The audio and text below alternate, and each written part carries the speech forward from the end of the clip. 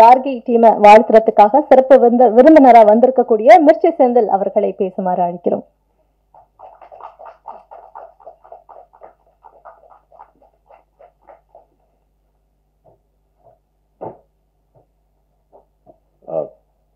எல்லாருக்கும் வணக்கம். முதல்ல கார்கி டீமுக்கு கங்க்ராச்சுலேஷன்ஸ் ஃபேண்டாஸ்டிக் ஜாப் அது இன்னைக்கு தமிழ் சினிமாவே வந்து அசத்தின ஒரு படம்.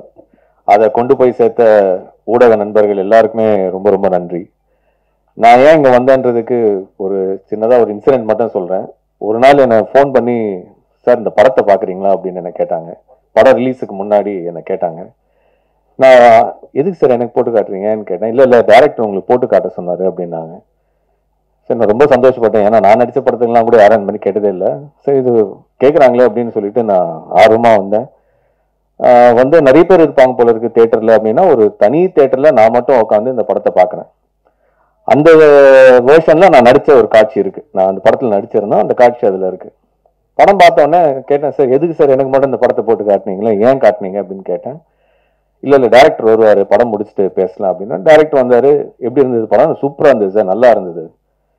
இல்லை எதுக்கு சார் எனக்கு போட்டு காட்டுனீங்கன்னு? இல்லை நீங்கள் நடித்த அந்த போர்ஷன் கொஞ்சம் துருத்திட்டு நிற்குது லாஸ்ட்டில் அதனால் அந்த படம் அந்த போர்ஷனை எடுக்க போகிறோம் அதுக்கு தான் போட்டு காட்டிட்டு எடுக்கலாம்னு சொன்னார். இந்த மாதிரி ஒரு விஷயத்த நான் லைஃப்ல கேள்வி கூட பட்டது கிடையாது. இவ்வளோ ஒரு மெக்னானிசமா மெக்னானிமஸா வந்து அவரு எனக்கு போட்டு காட்டிட்டு நீக்கிறாங்கன்றது வந்து ஒரு பெரிய விஷயம். எனக்கு அவ்வளவு சந்தோஷமா இருந்தது.